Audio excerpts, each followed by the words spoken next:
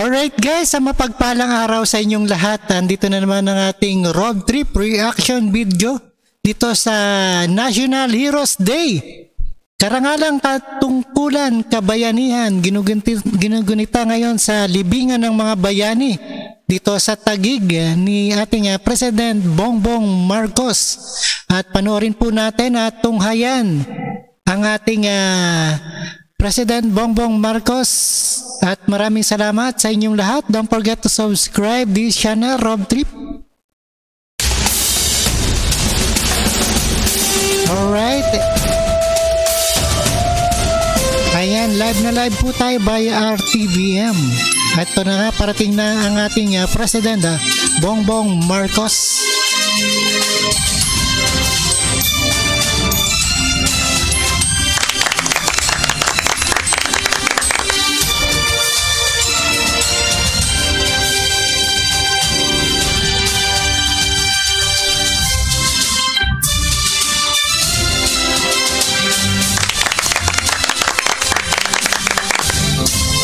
Aming ipinababatid ang pagdating ng ating panahing pandangal, ang kagalang-galang Ferdinand R. Marcos Jr., Pangulo ng Republika ng Pilipinas at pangkalahatang puno ng sandatahang lakas ng Pilipinas.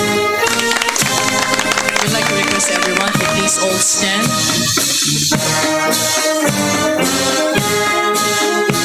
Alright, happy holidays sa inyong lahat.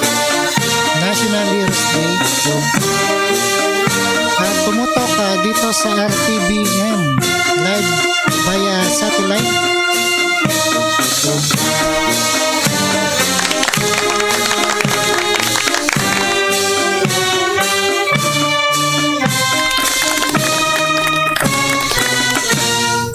Isasagawa po ang marangal na pagdating ng panahing pandangal. Handa, dala, kalis. Tanghal!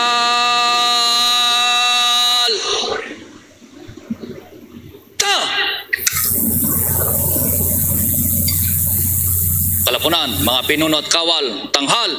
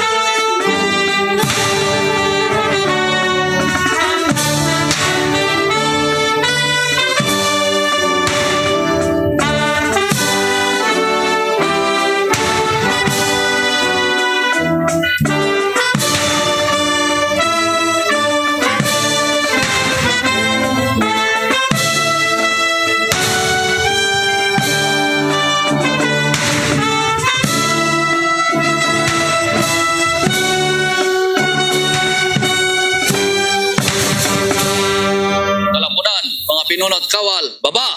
Ta! Handa, dala, kalis! Baba! Ta!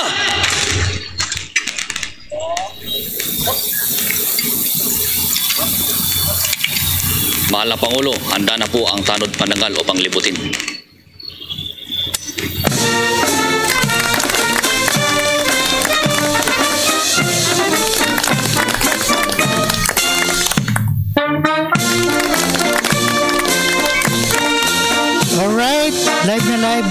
Kay Sir Rob Trip dito sa Bayani ng Libingan sa Taguig City.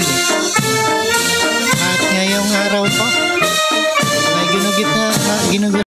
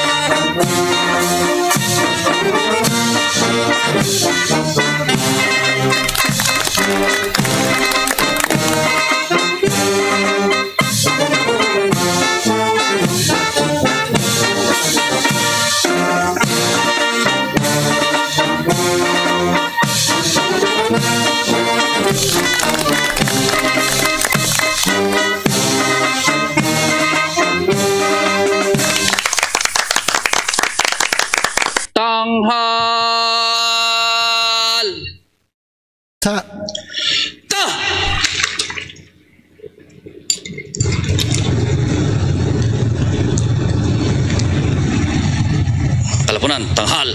Ta! Kalapunan, baba. Ta! Handa, dala. Kalis. Baba! Ta!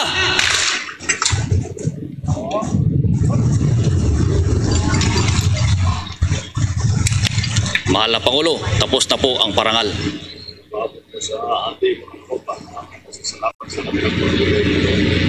Yes, sir.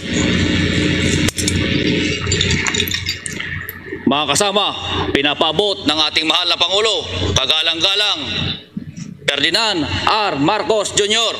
ang kanyang taos-pusong pasasalamat sa ginawa natin parangal sa kanya sa umagang ito. Baba, kalis.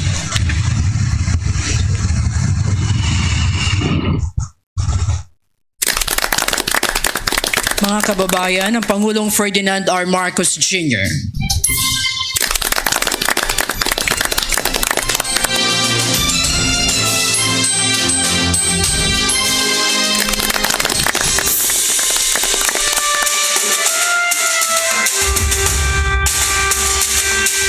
alright, tapos na ang ah, pagtatanghal dito kay ating ah, President Bongbong Marcos Jr.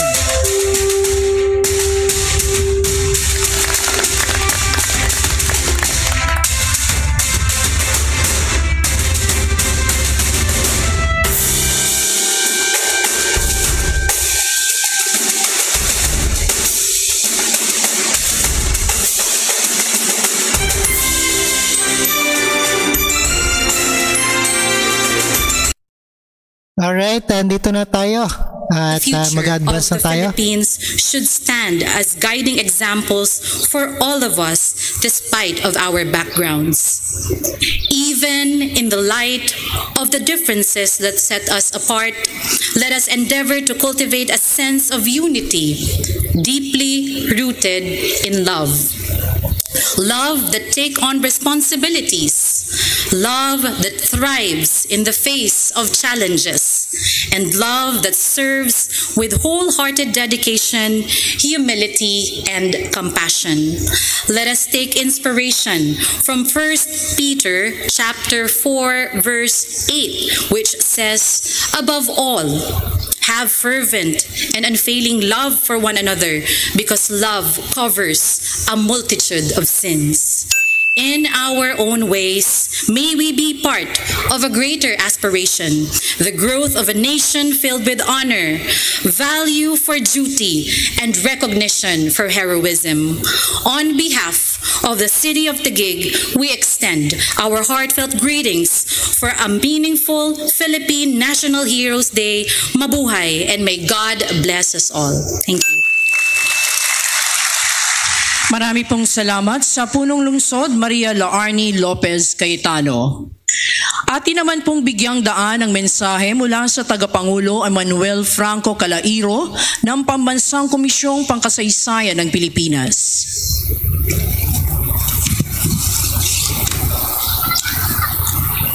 Magandang umaga po sa ating lahat. Throughout the history of this nation, we have on occasion set aside specific days to commemorate certain personages honoring their deeds and their sacrifice that contributed to the peace and development of our country today. This particular holiday, which dates back to 1921, the time when we were under the United States, was created by a predominantly Filipino legislature so that we could commemorate a host of anonymous and non-Filipinos who have immensely contributed to our nationhood, even as we were then under a foreign power. That is why we commemorate this day in front of the tomb of a known soldier. The name of the fallen soldier matters not. We cannot see the seed buried under the ground, but we can see the tree that has sprung above it, our beloved nation, Patria Adorada, thriving and free.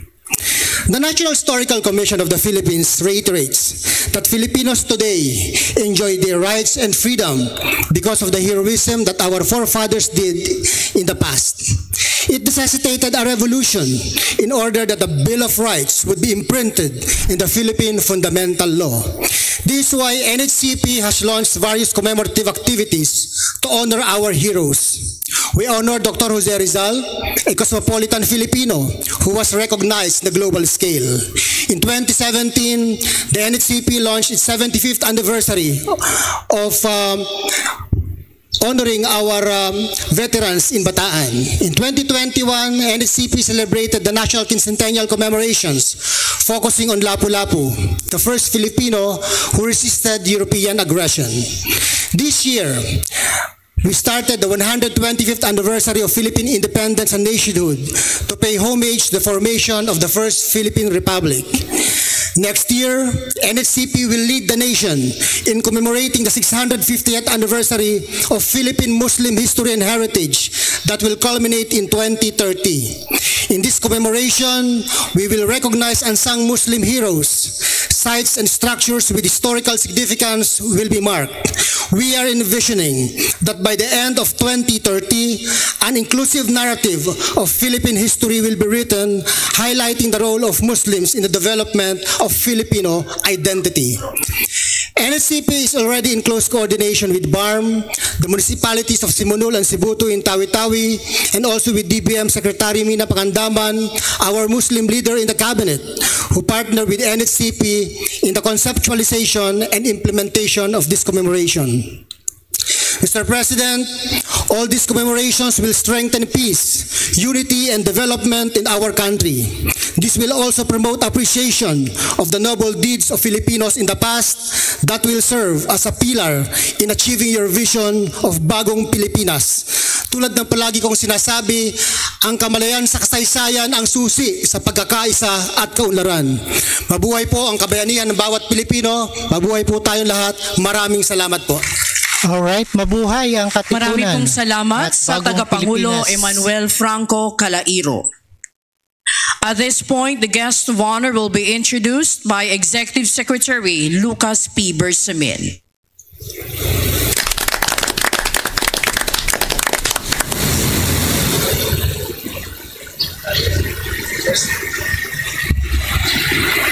Ladies and gentlemen, the President of the Republic of the Philippines, His Excellency Ferdinand R. Marcos Jr.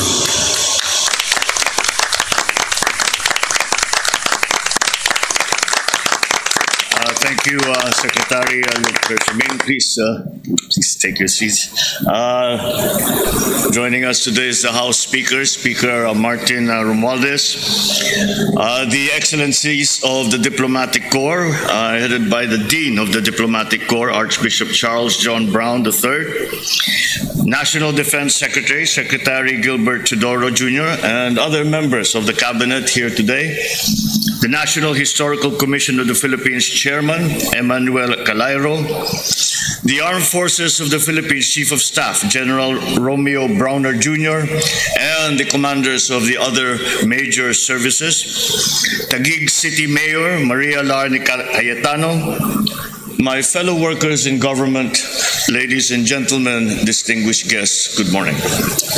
We commemorate today National Heroes Day. And as we do so, let us collectively recall the heroic deeds of those who have fought for our honor and our dignity as a blossoming nation throughout the centuries. From the warriors of old, revolutionary fighters, visionary thinkers, war veterans, and the countless patriots who have helped shape our country into what it is and what we are today free, independent, and self determined. To them, we are eternally grateful. May the stories of their courage and wisdom continue to be told and imparted to our youth, that they might be inspired and to strengthen their identity and cohesion of, the, of our nation for not today alone, but for centuries to come. In our journey forward as a nation, we must break free from the notion that heroes are only those who have earned a place in the national pantheon immortalized in monuments, or those whose names are inscribed in streets or whose lives are chronicled in biographies. Like the unknown soldier buried in this hallowed ground, unnamed and unheralded heroes too deserve their due recognition. While the memories of our heroes of storied past will never fade, new ones continue to emerge. They are here amongst us in the daily bustle of modern day society, in our communities, in our own families and inner circles. In their own ways, more often than not in less dramatic, less tragic circumstances, their selfless deeds and sacrifices have the same ability to inspire and to create a possible ripple effect in society. It can be said that most heroes are ordinary men and women, but which faced with the challenges of life, change, ch- faced with the challenges to their lives, to their country, to their families, to their community, and to their beliefs, it is them who rise up and we show us the act of hero- heroism that is extraordinary. All of us can be heroes, one way or another. We unleash the hero in us when we act genuinely for the good of another, impelled by causes and motives greater, more noble than mere personal interest or vainglory. Heroism is not only to be found in the grand battles and struggles, it also resides in the simplest acts of kindness, of empathy, solidarity that not only move hearts, but also influence minds and actions and change lives for the better. We need the unfading memories and shining examples of our heroes, not only to continually remind us of the noble causes that have led them to their heroic deeds. We also draw inspiration from them for our self improvement and to possibly develop our own heroic potential. So let us always tell the tales of the heroic deeds of our kababayans, whether they are in the country or they are in the country or in outside in the rest of the world. The tale might be the electric lineman from Bacolod City, braving the typhoon of uh, the typhoon Egay floods and risking his life to repair broken electrical wires to avert the, the greater danger to the neighborhood. It may be the Filipino farmer who prevailed over harsh weather and economic conditions to ensure a successful harvest that he might feed his countrymen. What to him was mere personal triumph was a crucial fragment of a greater accomplishment. A high level of production of food, which contributes to our goal of food sufficiency for our people. A grand and as noble a aspiration as could be had. There is also, of course, the Filipino teacher, who, in spite of a meager pay, strives not only to be a good educator to our youth, but a patient and persevering servant of government and of the people in many various activities outside of their strict job description. Elsewhere in the world, there is a story of Filipino teachers who lent a hand to an elderly neighbor in need during these terrible wildfires that we are witnessing. We can never disregard the countless tales of our workforce who have bounced back from the agonizing challenges of the pandemic to drive our nation's ongoing economic recovery. These include, of course, our overseas Filipino workers, whose remittances form a strong pillar of our country's economy. We have, we must mention a uh, dear and departed friend who we can only describe as well as a hero. And that is our good friend who we just lost, Secretary Toots Ople. And she is a perfect example of what true heroism can be. But she tirelessly dedicated the better part of her life to promote the welfare of our modern, modern day heroes. Let not our recognition just be a vacuous expression of consolation for noble efforts. We must give a genuine appreciation and a promise for all of us to do better, to emulate those heroes who we so admire and so honor. We shall not take their heroism for granted. We will not spare ourselves of the moral duty to perpetuate the ideals that they have fought for and to rectify the unsafe, inequitable, or exceptionally difficult conditions that necessitated their selfless needs. Following, fa- failing in our duty, their sacrifices would have been all in vain. Collectively, their heroic acts, small or large, go a long way and make our country and the world a better place. To them, we once again earnestly dedicate this special day. Mabuhay ang ating mga bayani, mabuhay ang kabayanihan ng puso na nasa puso ng bawat Pilipino. Maraming salamat po at magandang umaga sa inyong lahat. Alright yan, napakinggan natin ang ating ah, President ah, Bongbong Marcos dito sa Libingan ng Bayani. Ginugunita ngayon ang National Heroes Day. At ah, mabuhay ang ah, Pilipinas, ang ating ah, katipunan.